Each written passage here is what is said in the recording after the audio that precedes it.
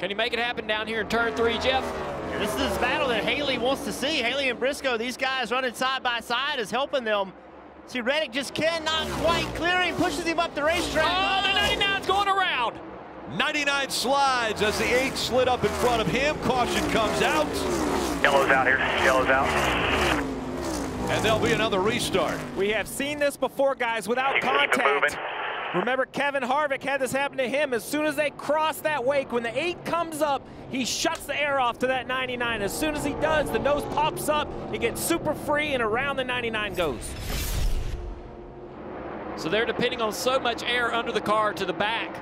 And that when that's gone. Was there a little contact there on the left front, though? Man, I don't know. It was close. Let's take another look here. He's loose right there. I think there was contact when they, I think they touched. But still, the air is such a huge part of it. it as If they did touch, then he loses all that airflow underneath the car, loses all the downforce. Yeah, originally I didn't see any contact on both these replays. This would be a great angle. I don't think they touched. I think he's coming around. Either way, he's going to spin. Yeah, I don't think they touched either in that, that view we just had.